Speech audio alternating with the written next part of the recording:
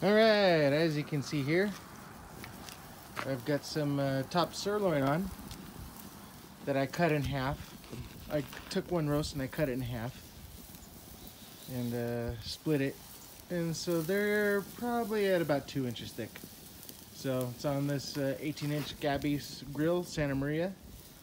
It's got my own Santa Maria seasoning on. Love it. It's a nice fall day here. We're sort of doing some uh, work inside today, not so much outside because we got a lot of other things going on. My son's football ended this week. He lettered as an underclassman. Can you believe it? Crazy. And yeah. Oh man, this smells really good. For those of you that don't know, uh, top sirloin is the uh, traditional cut for Santa Maria.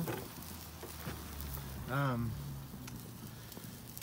there's a lot of nostalgia with tri-tip. It's just not true. You go to Santa Maria, you won't find it there. Uh, you won't find too much tri-tip. You'll find a lot of Santa Maria at the traditional uh, restaurants that have been there for, you know, over uh, 50, 60 years. So anyway, I just thought I'd uh, pop this on and show you guys what's happening today. I got some, uh, this is oak down here. This is red oak. I'm doing a real Santa Maria cook. So, smells really good. Sizzling up nice.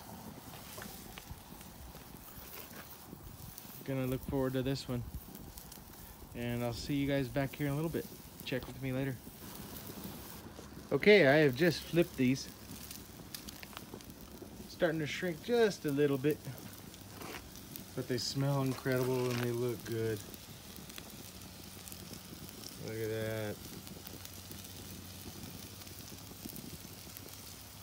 Just so you know, I am sort of getting really hot on my hand when I do this, so this is not the easiest thing.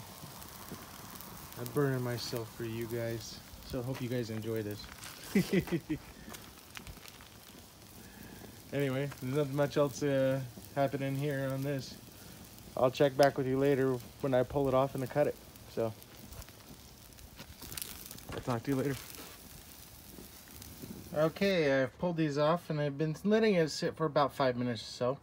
I just cut in and it's just how I like it. I know the lighting may be hard to see, but it's medium, just how I like it.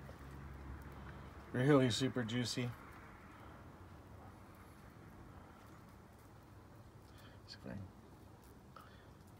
Claim my pitmaster privilege right now. Oh yeah, that's tender and good. Mmm.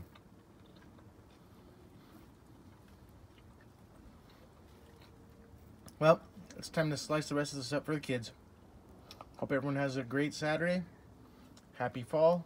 And see everyone for Thanksgiving in a few weeks. Thanks for watching.